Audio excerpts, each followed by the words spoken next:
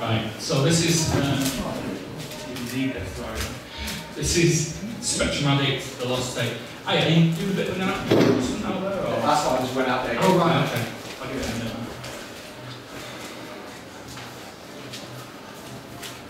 minute. Sound use. You sound use? Yes. I was just looking up to find out exactly when the first Spectrum-Malic was actually sent out. Mm-hmm. And when, when was it?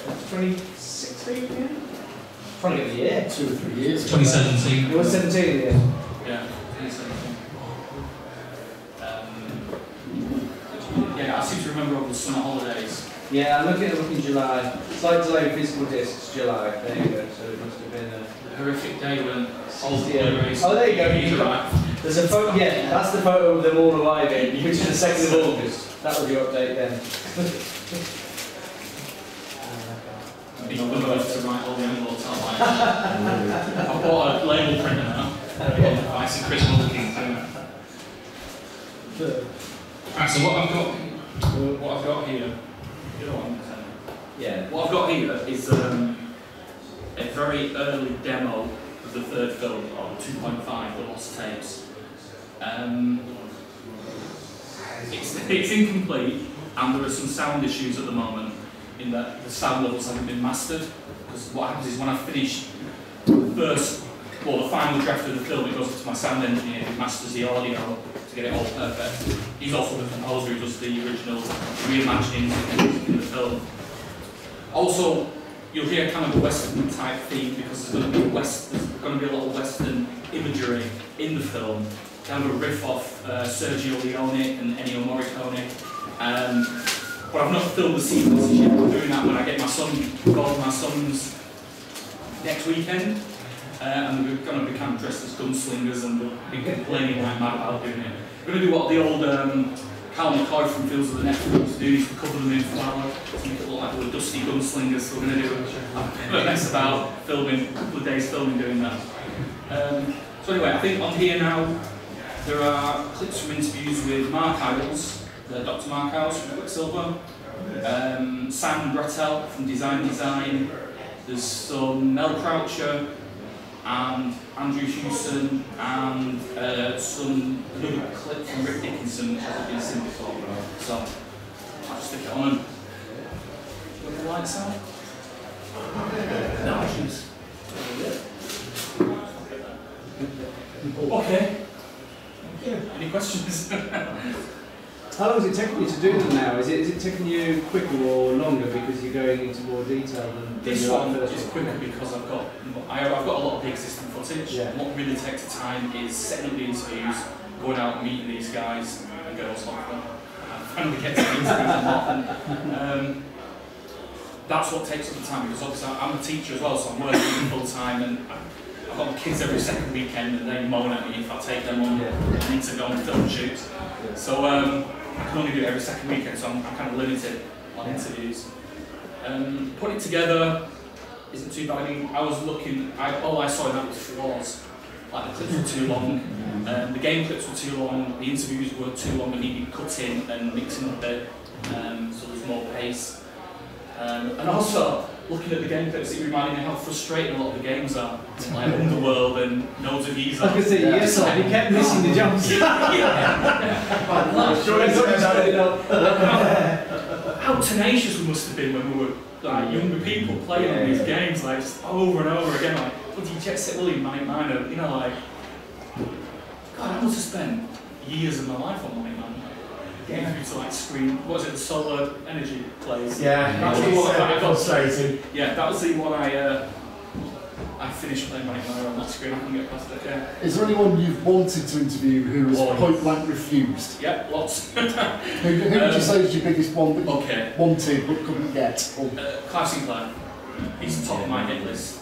Uh, I believe he's very ill at the moment. Um, Rick Dickinson tried to get me in touch with him, but at that point Clive was in the hospital. And also sadly, I didn't realise, but when I was interviewing Rick Dickinson, he already had cancer. Um, I just didn't know that at the time. Um, he was such a gentleman as well. So yeah, Clive Sinclair is top of the list.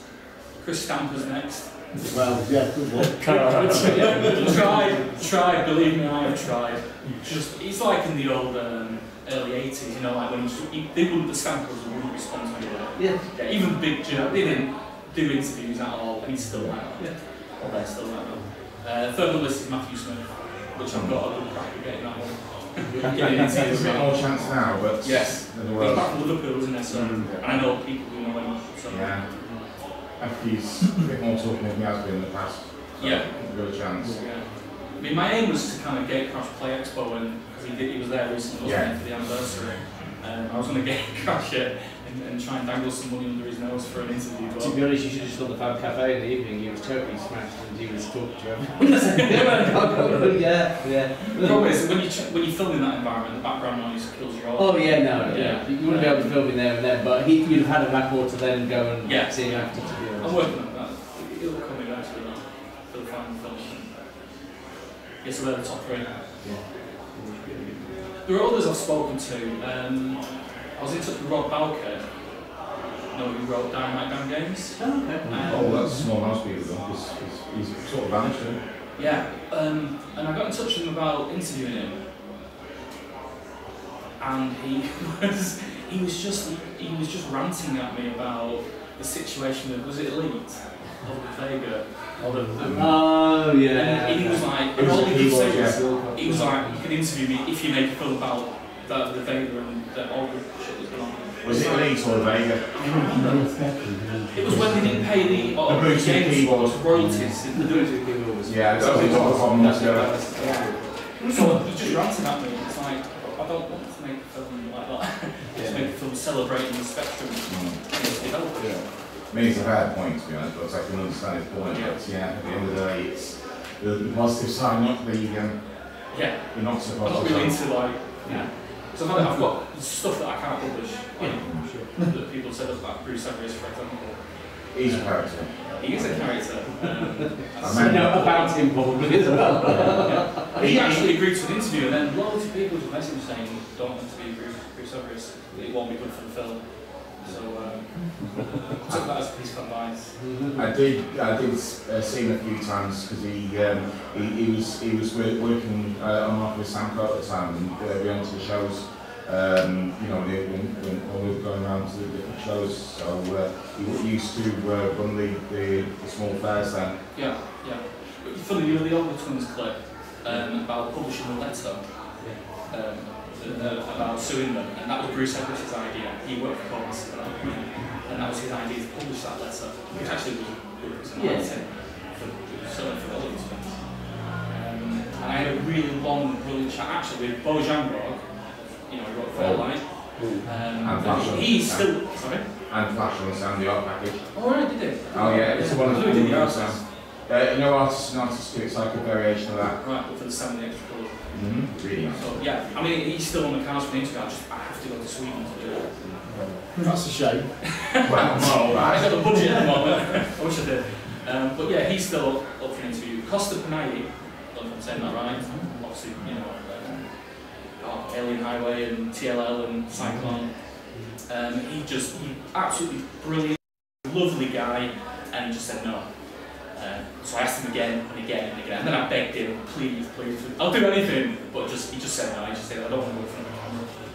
Um, but he was a gentleman about it, you know. It was really nice, and I was that's a very great shame because I, I would have loved to talk about him in. But you know, conversely, I've met lots of amazing people. It's been a joy to interview every single one of them for many different reasons.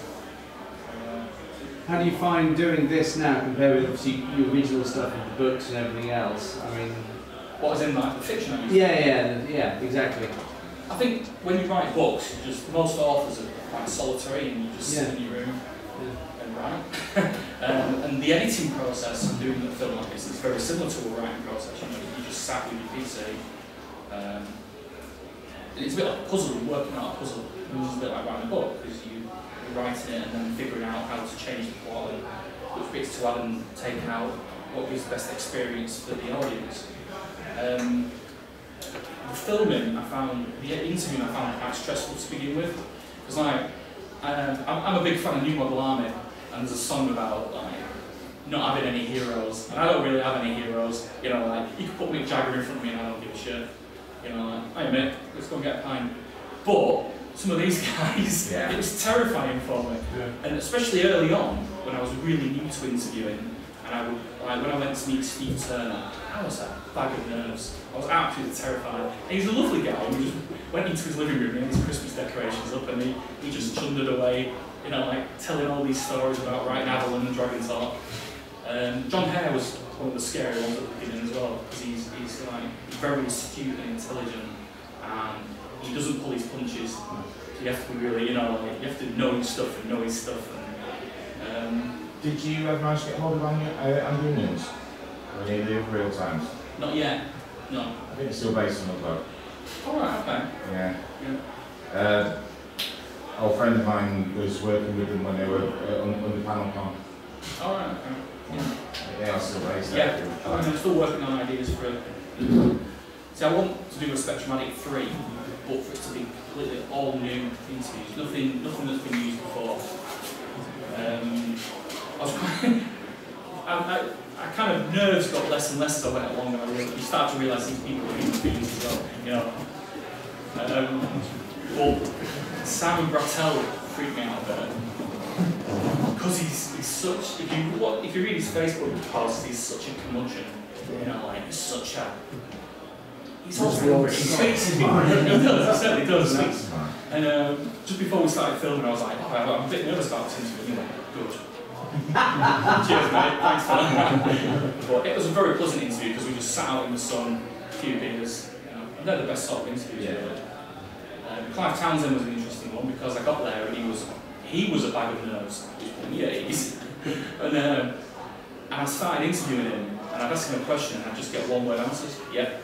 No. Right, well, I'm thinking, oh shit, if everyone's like this, I'm not having more film. Because it was one of the very early interviews. Um, and I said, tell you what, let's have a break. Do you want a pint? A pint cider. Brilliant. He said, I'm a thirsty ninja.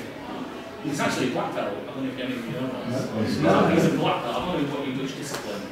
Um, which is why I got a clip of him doing a jump forward roll over a hedge at some point. But yeah, two pints, he loosened it up. After the third pint, he was away. So that, that taught me a lesson as an interviewer.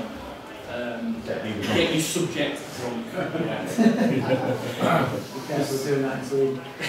Is there, is there going to be anything about the Spectrum Next? Yes, In, is that in this one or going to be in it'll the third one. Uh, It depends on the timeline because I'm waiting for it to come out like everybody else. I know that Not long now. I now. know the board's out, but I'm waiting for the final product to come out. Um, Yeah. that happens, you know, I mean, Get people, make Keyboard's ready. yeah. Don't know how they actually confirmed the one they've had sent over to them is okay. Because they were sending it over. Yes, they've done that. The updates come out, so it'll be going into mass production in the next month or so. Yeah, there was stuff about that that Simon Butler said that I just couldn't put in the film. Oh, God, yes. Probably get sued. And stuff he said about Bruce Everiss as well. Well, yeah, well, yeah, that's just um. And the stuff he said about the Oliver twins as well. In fact, I know about the Oliver twins one. That's how they found out the company. Yeah, yeah, he told me that. I can use my discretion because I think technically as publisher, I don't Yeah. want to get sued. No, no, you. No, no, no. no, you're. So, Yeah, you got to choose like, one. where is stuff like Give someone a right to reply as well. that. Sorry? You, you give Bruce a right to reply as well if you post. Yeah, yeah, yeah. I mean, I'm not, I'm not out on a witch hunt. Yeah. You know, I'm not out to slag people off or pull them No, down no, in no. any way. You know, I just want to celebrate the spectrum because that's what that was. That was my childhood obsession. Sitting there in the room, in my bedroom. Are you covering new game development as well? There you go. Covering new game development or just... Sorry, I So, can't I am, I am, I haven't watched the, um, the first ones yet. Are you covering new game development? Yes, or- there's a chapter in on the home, homebrew scene Yeah. in the second film, which is um, yeah, people like Luca Bordone, uh, Mate Mate Yan, um, uh, Graz Richards who runs Monument Software and they publish stuff. Yeah. Um, Simon Ullyatt who runs Chronosoft, you know, they're, they're, they're publishing new stuff all the time. So yeah, And Jonathan Corbett, of course. Jonathan. I saw, Jonathan well, that's it. I saw his name come up on there. Yeah, yeah. I've interviewed him a couple of times now. Um, I was a gentleman, and in in the, this 2.5, I've actually been talking to quite a few people about the new new games. You know, like in the Crash Annuals, the recent uh, Fusion Box Crash Annuals, some of the newer, newer games that have been coming out, so I've got clips of them to put in and do a new chapter on the Ron Lucy. and whatnot. So, yeah. What do you want to speak to, you, Jason? Who, who? The one guy just talked. Oh, yeah. Zero Buzzsaw. Mm. Oh, right, okay. Oh, did you really? That's what, yeah, that's what. I was just curious. Is that what you're I'm not saying for, just said to the. That is nice. Cue makeup. Get him up. Get him outside. There's a pub next door. Yeah. That is a nice game, by the way. Is that all using the Nirvana engine? But no, no, it was, that was it was written before any of those. There wasn't. Um, who was it? Who was? What was the, the engine? I was it Andrew Owen did one. He was trying to do an engine at the same time. Mm. I think it was Simon. Um, who was it? It was Poland. What's his name? Simon. It was all about that same time. Yeah, it came out. Yeah, this was finished about a month after mine so I was trying to get mine out before it. but yeah, no, no, there weren't any multicolour games, so it's yeah, it's a custom Oh, thing right. that's been. Yeah, Yeah. yeah. Line and put it in. That's quite nice. Quite nice one, that. Yeah, I think it's Andrew Owen did a sort of engine. Yeah. It was based on some stuff. I mean, it was um. I can, never- I can never remember the real names. Who the guest man? He was the one. Um, he was. He gave some hints about how the demo Yeah. goes right, right there engines. Don Robinson, wasn't it, you first did? Yeah, Yeah. In Yeah, Uridium on the culture. yeah. Yeah, that's it. I, I asked Andrew Hewson about it because they used it. He was copying. What was it? It was, it was the Atari that was doing that first, with the colour Yeah. switching on the line. Then they did it on Commodore 64 titles. I think it was Alley Cat on it. Yeah. And um, yeah, Robinson was just trying to copy on the title screens. But he, he just had, you know, it was the same colour across and down, so it wasn't. Um, didn't bit of sprites or anything like that. But yeah, I nearly got beaten to the punch as well by um, uh, what was it? It was the Boxall thing. That was the Boxall, Bozoxall or whatever it was. It's a it's a um, you know, shoving box, shoving crates thing. That um, Yeah. He was written using Andrew Owens code, but yeah, and then he got I think he got a huff on. It's not stuff that way, you know, it's like, it's hard but you know, the, the Nirvana one was quite good because all those other ones were in columns, and the Nirvana he managed to do the full screen width in, Mm. in that hot half the colour, vertical colour resolution. So I use that one. But yeah, you get the, nearly the full screen. It's cool when uh, Linton Sharp came round and brought his next Yeah. Development platform. Well, in, a, in a German Spectrum case, which Yeah. orange. I've got a pre-production board of that, but I've never actually fired it up. You know, Uh, when I tried, there were so many changes over, changes over with the um, firmware. You know, you need to load on it. I was waiting for them to stick to pick a version of the firmware for it, and um, it must be coming soon. like, isn't it? The next. yeah, By the end of Q3, I I think. keep promising. Yeah. Before The Christmas. thing is, I was always, Yeah, yeah, yeah. I've always been annoyed. It's that you know, there's one to eight came out, but they didn't actually put you know that time its graphics mode on that. They had a chance to. Any more questions? Thank you. Yeah. Yeah.